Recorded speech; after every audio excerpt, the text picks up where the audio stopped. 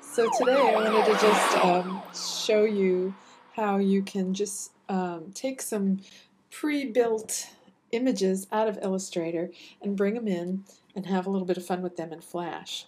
So to demonstrate this, I opened up Illustrator and I've just created a document, any, any document, to say File New and whatever it says is fine because we're just going to use this as a pasteboard for a moment. And uh, what I've done is I've opened the Symbols menu, which is under Window, Symbols, there it is.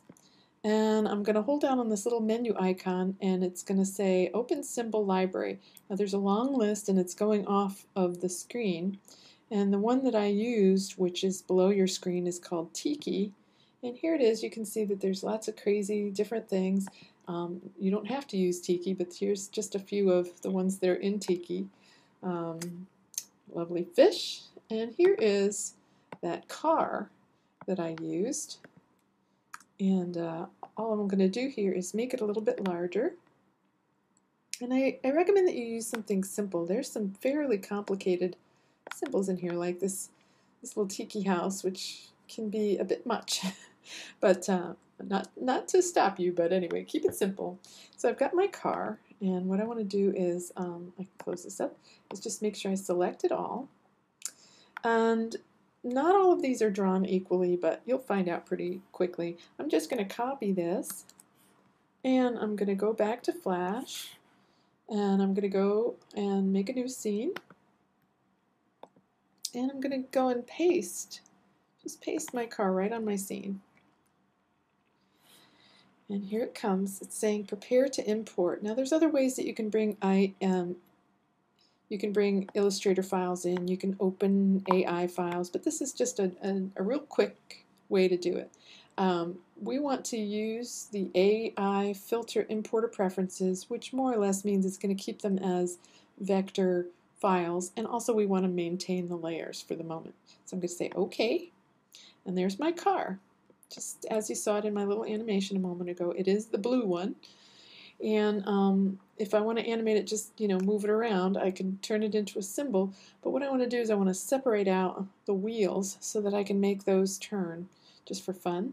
So what I need to do is go modify, and I need to break this apart. Now the first time I break it apart, apparently nothing happens. I'm going to use the keystroke, which is Command B. Command B, and now you can see that I've got lots of little pieces parts. In fact, you know, true to Illustrator, I could take all the different pieces parts. But what I want to do is just take one of these wheels, and uh, it can be a little tricky. I want to make sure I get all the wheels, so I'm just going to pull it off to the side. And there it is. I want to convert my wheel into a symbol, so I want to use the F8 command. And if you're on your laptop, don't forget you need to hold down the FN key. I'm going to use a movie clip. I'm going to say wheel. And because I have one already in my library, I'll say wheel 2. And now I'm going to actually get rid of this wheel because I don't need two wheels. Great, and now I'm going to take the car without the wheel, and I'm also going to turn that into a symbol. So F8 again, and I'm going to say car, again, for my purposes, I'm going to say car 2 because I've already got one. And there I've got my, my car. So what I've done in the other animation is that I've got the car and I've got the wheel. Let's put them on separate layers. I can do that either by deleting and replacing or just say distribute to layers. Helps if you have them selected, but it looks like looks like I got lucky. So here's my wheel, here's my car. And let's say I'm going to call this, rename this to say rear, and then I'm going to make another layer and call this front wheel or whatever, front. And I'm going to go get that uh, wheel again from my library. There it is. I'm going to drag it out here and I'm going to kind of position it behind my car. So there's one wheel, the rear wheel. Here's the front wheel. And now I'm going to take all three elements and put a tween on them. And from here you can do anything that you've been doing. You can change the colors, you can have them move.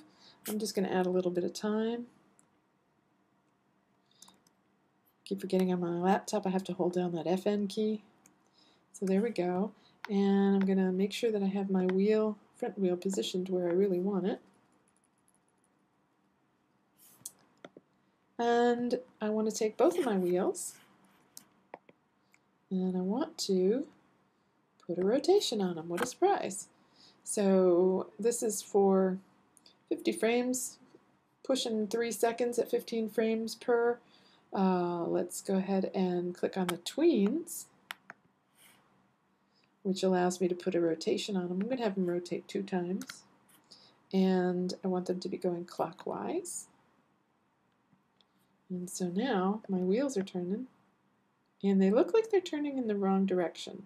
So let's change that and make it counterclockwise. Let's see if that looks better. Now you'll notice that much like the other animation, what's happening is the car is sitting still. That looks better. And what I'm going to do, or what you could do, is have something moving beneath it to give it the illusion. And then to give that car the sort of bumpiness, um, all I did was come frame by frame, first well, put a tween on it, Oh, that has one. Good. And then I'm going to use my arrow keys. So I'm going to just go up a couple pixels, come a few frames later, down a couple pixels, up, down. To give it that sort of bouncing thing that was made it look more like a funky old car that it is. And there we go. So now I've got my car, the wheels are turning.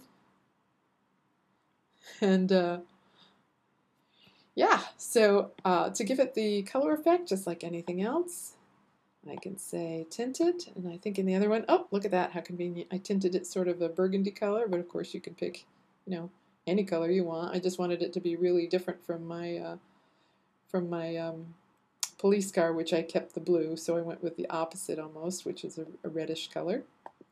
And need to do that with the wheels too, unless you want them to look differently uh, let's give them a, hmm, purplish tint, purple gray, just so they look a little different.